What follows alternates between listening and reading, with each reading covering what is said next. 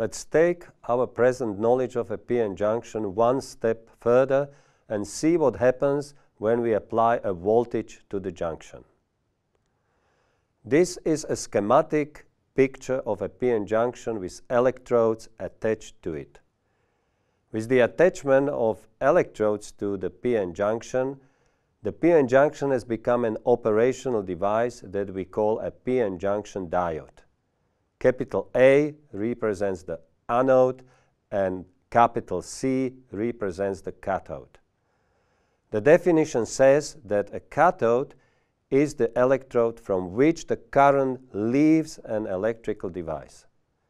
The circuit symbol of a p-n junction diode has the triangle pointing from the p-type semiconductor to the n-type semiconductor. And ID represents the diode current.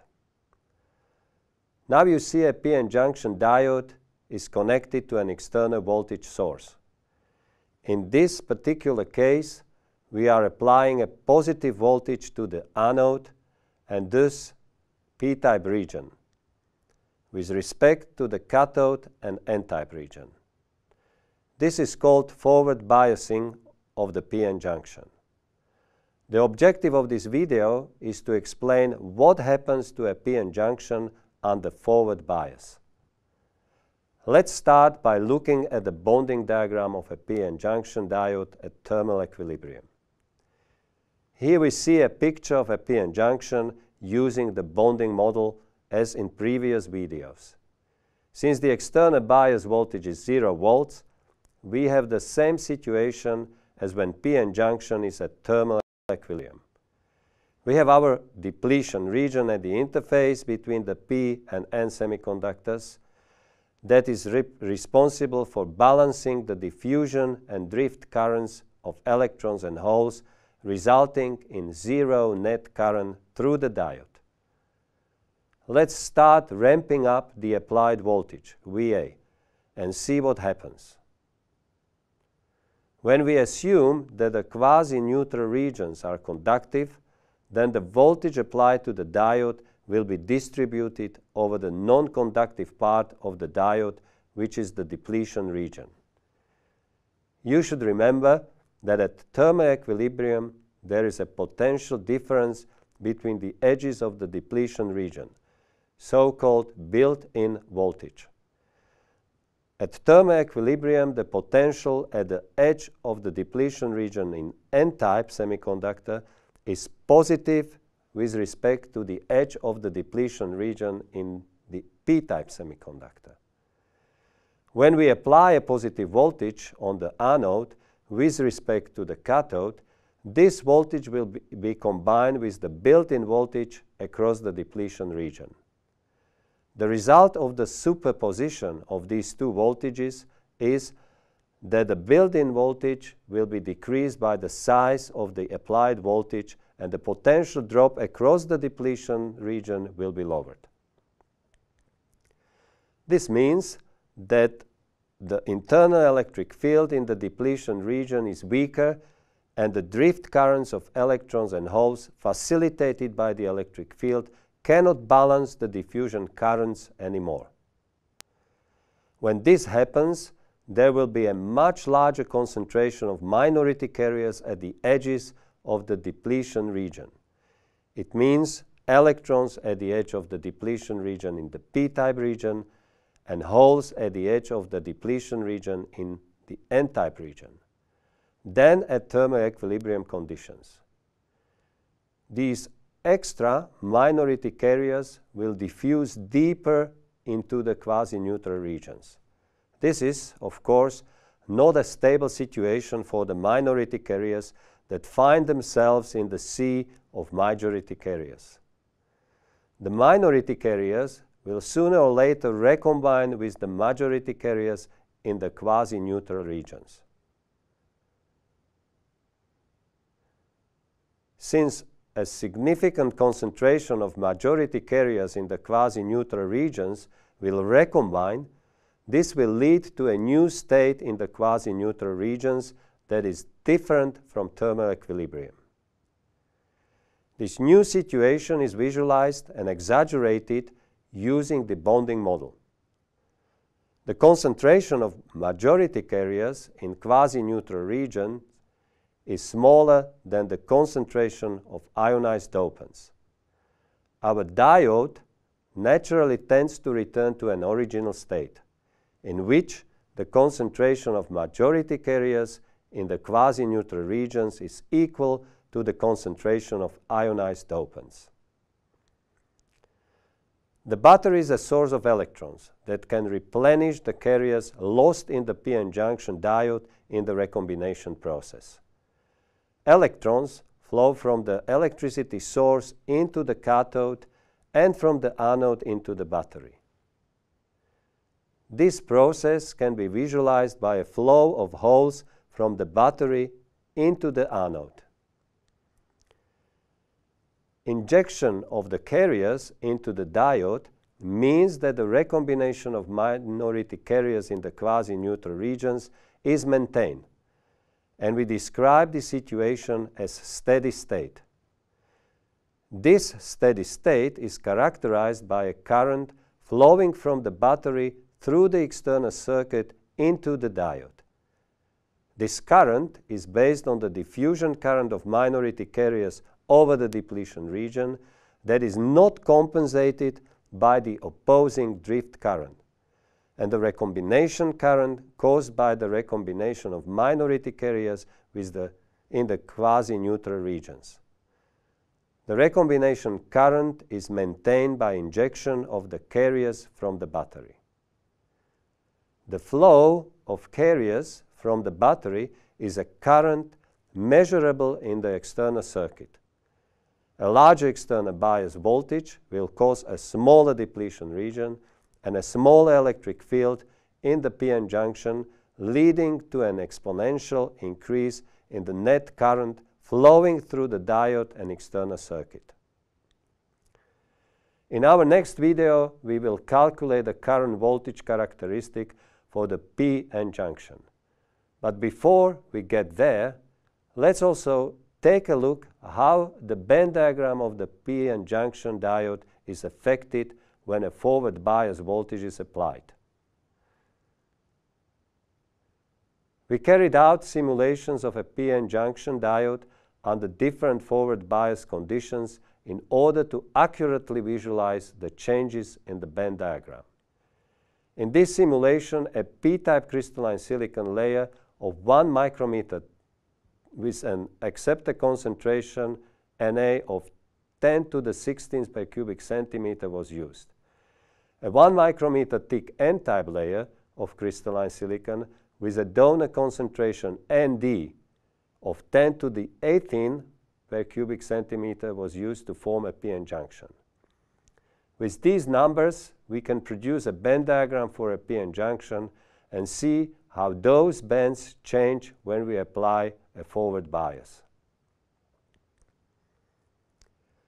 Before we see the band diagram of a p-n junction in forward biased condition, let's first review the band diagram of a p-n junction at thermal equilibrium. When we look at the band diagram on the left, the vertical axis is the energy in electron volts. The position of the Fermi level is set at zero electron volt. The horizontal axis is the position in a p-n junction. From 0 to 1 is the 1 micrometer thick p-type layer, and from 1 to 2 is the 1 micrometer thick n-type layer. We see that there is a slope in the conduction and valence band edges across the depletion region indicating the existence of an electrostatic potential difference between the p and n-type regions. So at thermal equilibrium, we have an internal electric field in the depletion region that causes a built-in voltage across the depletion region. The built-in voltage in this particular case is 0.9 volts. The electric field acts as a potential barrier that prevents the mobile electrons in the n-type region from flowing into the p-type region. Similarly, this electric field prevents holes from the p-type region from diffusing into the n-type region. Please remember that at thermal equilibrium there is only one Fermi level and it is at the same energy position across the p-n junction. This tells us that the total electrochemical energy of electrons is the same all over the p-n junction. Since the Fermi level is at the same energy level across the whole p-n junction, or as we say, it is horizontal, it indicates that there is no net current flowing through the p-n junction diode. Of course, there are diffusion and drift currents of electrons and holes across the depletion region, but they compensate each other so that the net current is zero. On the right side of the slide, we show the graph of the electrostatic potential in a p-n junction. You see that at the n-type region of the p-n junction, the potential is positive with respect to the p-type region. You have seen this before, but now let's apply a forward bias to the p-n junction. This is the band diagram when a forward bias of 0.1 volt is applied to a p-n junction diode. When applying voltage to a p-n junction diode, the p-n junction is no longer at thermal equilibrium. Now we see the Fermi level splits into two quasi-Fermi levels. EFN is the quasi-Fermi level for electrons, and EFP is the quasi-Fermi level for holes. The quasi-Fermi level of holes in the p-type region is set to 0 electron volt at the electrode. We have applied a bias of 0.1 volts and you can see that quasi-Fermi level of holes is pushed up by 0.1 electron volt at the electrode attached to the n-type region. You may be able to notice that the difference between the conduction band edge at the p and n-type quasi-neutral region has reduced. And that means that the potential difference across the depletion region is also reduced. This is confirmed when we look at the potential profile in the p-n junction diode shown in the plot on the right. The solid line is the potential difference at thermal equilibrium, and the dashed line is the potential difference at a forward bias of 1 of 0.1 volts. Since we keep the reference level of the potential 0 at the electrode attached to the p-type layer, you can see that potential drops by 0.1 volts at the n-type side with respect to the potential level at thermal equilibrium. Let's also quickly look back at the quasi-Fermi levels. The band in the quasi-Fermi levels indicates that the net current is flowing through the diode. Current flow is proportional to the gradient of the quasi-Fermi level of electrons, EFN. So let's gradually start increasing the forward bias voltage and see the effects on the band diagram. As we increase the bias voltage to 0.2 volts, we can see a further increase in the split between the quasi-Fermi levels and a shrinking of the potential difference between the conduction bands in the p and n-type regions.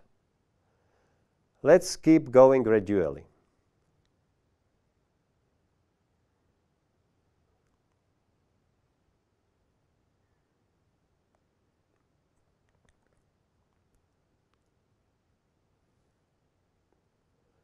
Now we have reached 0.7 volt applied forward bias you can see that the band edges are almost flat. This means that the potential difference between the two sides of the p-n junction depletion region is small. There is a significant current flowing through the diode. Let's recap what we discussed in this video. Our goal was to understand what happens to a p-n junction when we move from thermal equilibrium to a forward bias. We saw that as we apply a forward bias, the depletion region starts to decrease, which leads to a smaller internal electric field in the depletion region. A net current will flow through the PN junction diode that is a result of recombination current caused by the recombination of an increased number of minority carriers with the majority carriers in the quasi-neutral regions. The increased concentration of minority carriers is a consequence of the diffusion current through the depletion region that is not anymore compensated by the drift current. Further, we saw how the band diagram of a PN junction is changed when the external forward bias voltage is applied. At thermal equilibrium, there is a large potential difference between the position of the conduction band edge and of the N-type material and the P-type material. As we apply a forward bias voltage, the difference between the band edges flattens and the potential difference across the depletion region lowers, allowing current to flow through the PN junction. Important is to note that the concentration of mobile carriers is described by two quasi-Fermi levels, one for electrons and the other for holes. Slope in the profile of the quasi-Fermi levels indicates that a current flows through a PN junction diode. Now that we have understood what happens when we apply a positive bias to a PN junction, the next obvious question is what happens when we apply a reverse bias? This will be the topic of the next video. See you there.